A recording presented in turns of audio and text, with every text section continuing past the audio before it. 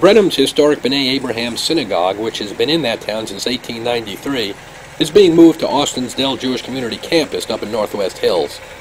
The move is being done in three parts as the building is dismantled.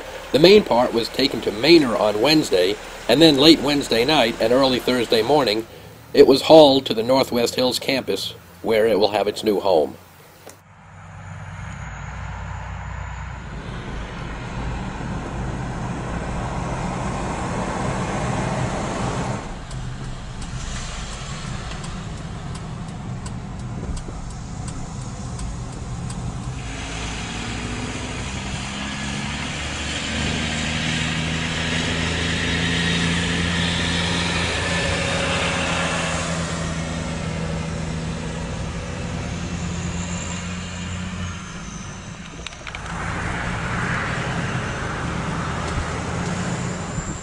It took about an hour to get from Manor to the campus in Austin.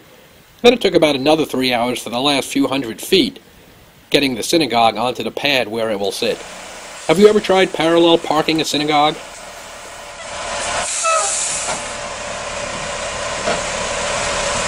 gonna knock on the window side of it, you know.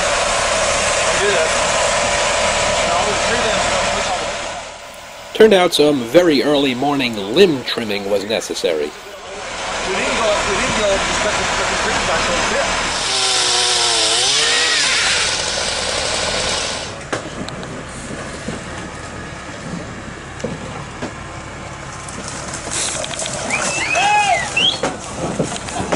Dang, he just kind of goes, doesn't he? The job was wrapped up and the synagogue was in place over the pad at about 3:20 a.m. on Thursday.